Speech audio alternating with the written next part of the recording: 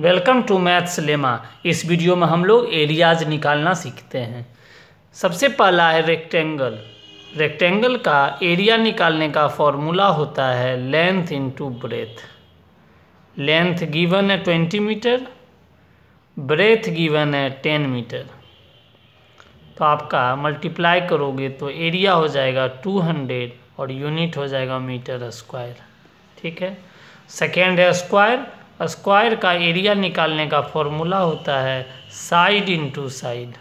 Side given है ten metre तो आप कर दीजिए ten metre into ten metre so it will come hundred unit will be metre square third is triangle triangle का area होता है half into base into height height को बहुत जगह अल्टीट्यूड भी कहा जाता है तो आप कर दीजिए हाफ़ इंटू बेस आपका है फिफ्टी मीटर और हाइट है आपका फाइव मीटर। टू से कैंसिल हो जाएगा twenty five times twenty five five जा वन ट्वेंटी फाइव। तो आपका आंसर हो जाएगा one twenty five metre square. ठीक है? सर्कल। सर्कल का एरिया निकालने का फॉर्मूला होता है पाई आर स्क्वायर। पाई का वैल्यू होता है थ्री पॉइंट वन फोर। और रेडियस का स्क्वायर रेडियस क्या दिया हुआ है? Five centimetre into five centimetre जब आप कैलकुलेट करोगे तो आपका एरिया आ जाएगा सेवेंटी एट पॉइंट फाइव और यूनिट हो जाएगा सेंटीमीटर स्क्वायर फिफ्थ है इक्विलेटरल ट्रायंगल इक्विलेटरल ट्रायंगल का एरिया निकालने का फॉर्मूला होता है root three by four into side into side root three का value one point seven three two होता है. बाय फोर इंटू साइड क्या है? टेन मीटर है.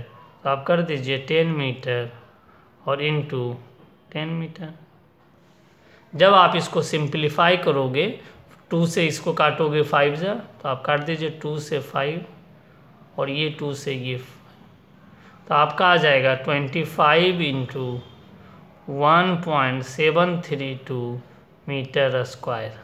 ठीक है?